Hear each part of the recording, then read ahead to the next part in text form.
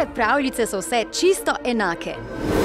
Princesa, njen junak. Ampak tale zgodba je pa malo drugačna. Jaz sem enkratni mare. Ta maček govori. Jo kaj pa? Saj ni nič takega. Zdaj, hitro, hitro! In kaj sem jaz v tvoji zgodbi? Haha, nisi dovolj čeden za veliko ljubezen in ne dovolj smešen za komične vložke. Uh, Prav, grem po svojo postolovsko malho. Gremo! Zatreskal sem se. Vidim, da tole mesto kar obeta. strašno tiho je.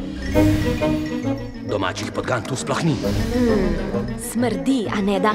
Smrdi po... Skrivnosti. Nekje mora biti sled, ki pojasni zaplet. Svet ni zgodba za pletom, zgodi se pač.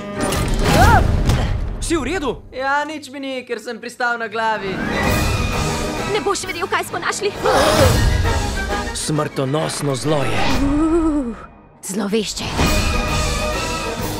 Brez skrbi, maček vedno pristane na nogah. O, Mare! Enkratni mor. Upirajte se! Pridite! Ne bom vam povedala vsega. Enkratni mare. Zares ni običajna pravljica. Bistven varnostni nasvet. Ne žri podgane, ki je požrla nekaj, kar je požrlo nekaj, da je crknilo.